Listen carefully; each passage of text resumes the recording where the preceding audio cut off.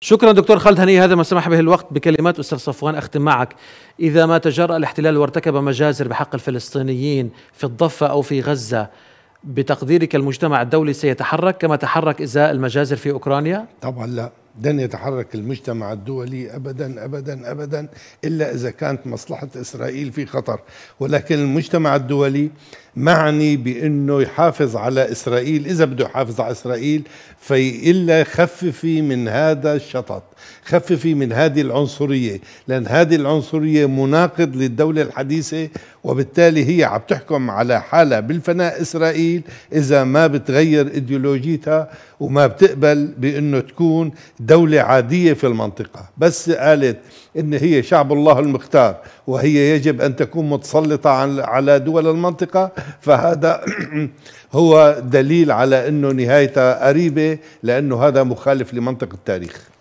وهذا على كل حال مصير كل احتلال. شكرا طبعا. جزيلا لوجودك معنا آه، الباحث في علم الاجتماع السياسي صفوان موشلي. شكرا للدكتور خالد هنية من غزة الباحث السياسي. شكرا للشيخ علي اليوسف عضو هيئة علماء فلسطين.